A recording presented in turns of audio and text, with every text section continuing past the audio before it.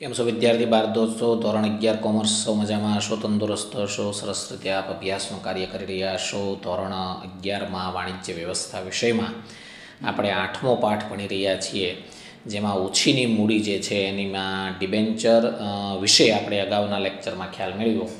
આજના લેક્ચરમાં આપણે બોન્ડ અને જાહેર થાપણો વિશે થોડી વિગતે ડિટેલ મેળવવાના છીએ. બોન્ડ એ ડિબેન્ચર જેવું જ છે, પરંતુ એમાં થોડોક ફેરફાર છે, જેની વિશે આપણે સમજીએ. બોન્ડ એ કંપનીની લાંબા ગાળાની નાણાકીય જરૂરિયાત સંતોષવા માટેનું મહત્ત્વનું એક પ્રાપ્તિ સ્થાન છે. બોન્ડ એ કંપની માટે ઓછીની મૂડી છે, મતલબ કે કંપનીનું દેવું છે. અને બોન્ડ હોલ્ડરો એ કંપનીના લેણદારો છે. અને તેઓને નિશ્ચિત દરે સમયે ડિબેન્ચરની જેમ જ વ્યાજ ચૂકવવામાં આવે છે. બોન્ડની મૂળ કિંમત સામાન્ય રીતે ડિબેન્ચર કરતાં વધુ હોય છે. અને મોટાભાગે સરકાર છે, મ્યુનિસિપલ કોર્પોરેશન છે અને કંપની છે, એ બહાર પાડતી હોય છે. બોન્ડ જે નામથી બહાર પાડવામાં આવે છે, એ જ નામથી તે ઓળખાય છે. જેમ કે સરદાર સરોવર બોન્ડ. એનું એક્ઝામ્પલ અહીંયા આપ્યું છે. બોન્ડ ચોક્કસ મુદત માટેના હોય છે. એના કોઈ પેટા પ્રકારો હોતા નથી. સરકાર કે કંપનીઓને મોટી યોજનાઓ જ્યારે હાથ ધરવી હોય અને મોટી રકમની લાંબા ગાળાની જરૂરિયાત હોય, ત્યારે સરકાર કે કંપની આવા બોન્ડ બહાર પાડે છે. અને આવા બોન્ડ દ્વારા તે મોટી રકમ જાહેર પ્રજા પાસેથી મેળવે છે.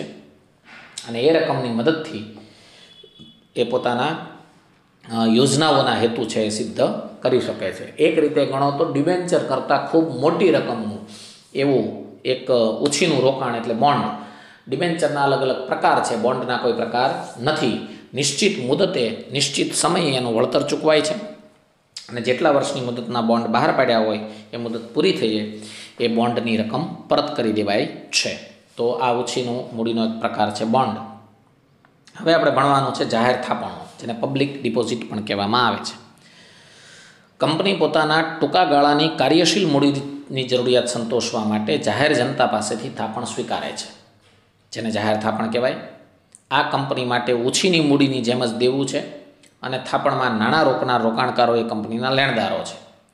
એની મુદત છ માસથી લઈને છત્રીસ માસ સુધીની હોઈ શકે. એટલે કે અડધા વર્ષથી માંડીને ત્રણ વર્ષ સુધીની. થાપણદારોને કંપની ચોક્કસ દરે વ્યાજ ચૂકવે છે. આ વ્યાજ ત્રિમાસિક, માસિક, અર્ધવાર્ષિક, વાર્ષિક પણ હોય અથવા પાકતી મુદતે મુદલ અને વ્યાજ એકસાથે પણ અપાય છે.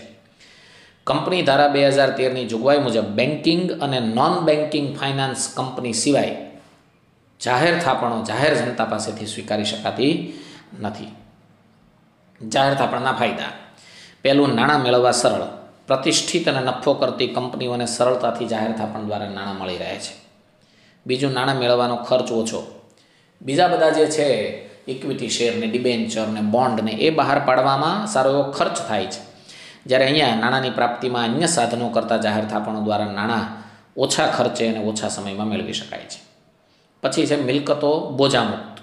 જાહેર થાપણો દ્વારા નાણાં મેળવતી વખતે કંપનીએ મિલકતો ગીરો મૂકવી પડતી નથી. તેથી ભવિષ્યમાં મિલકતો ગીરો મૂકી વધુ ઓછીની મૂડી મેળવી શકાય છે. વ્યાજ ખર્ચ. જાહેર થાપણો પર ચૂકવાતું વ્યાજ એ કંપની માટે ખર્ચ છે અને ખર્ચ આવકવેરામાંથી બાદ મળે છે. પરિણામે કંપનીએ કરવેરો ઓછો કરવો પડે છે. પછીનો મુદ્દો છે કાર્યશીલ મૂડી તરીકે ઉપયોગ.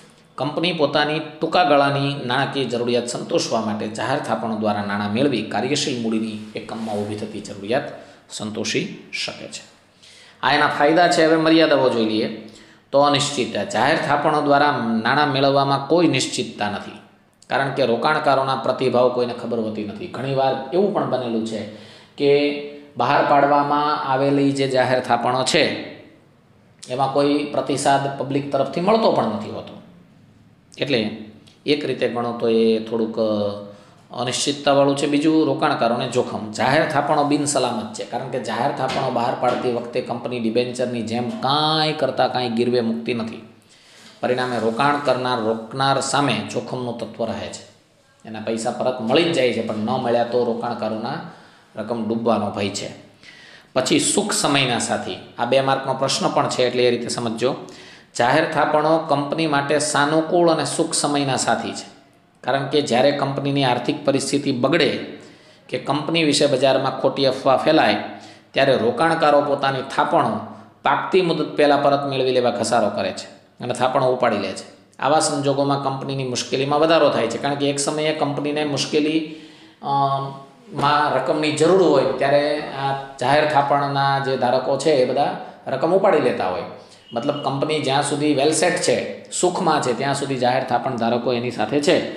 પણ જેવું કંપનીને લઈને કોઈ બાબતની માર્કેટમાં વાત આવે, ત્યારે જાહેર થાપણદારો તેની થાપણો ઉપાડી લે છે. એટલે કહેવાય છે કે સુખ સમયના સાથી છે. પછી છે નવી અને નબળી કંપનીઓ માટે મુશ્કેલ. નવી કંપનીને જાહેર થાપણો મળતી નથી કારણ કે એને કોઈ ઓળખતું નથી. અને બીજું નબળી કંપનીઓ છે, એમાં રોકાણકારો જાહેર થાપણો દ્વારા જોખમ ઉઠાવવા તૈયાર થતા નથી એટલે એને પણ મળતું નથી. તો આટલી મર્યાદાઓ જાહેર થાપણો સાથે જોડાયેલી છે. તો આટલા મુદ્દાઓને આપ સરળ રીતે સમજાશો વિડીયોને વારંવાર પ્લે કરીને આ મુદ્દાઓ ફરીથી યાદ કરવાનો પ્રયત્ન કરશો. Thank you very much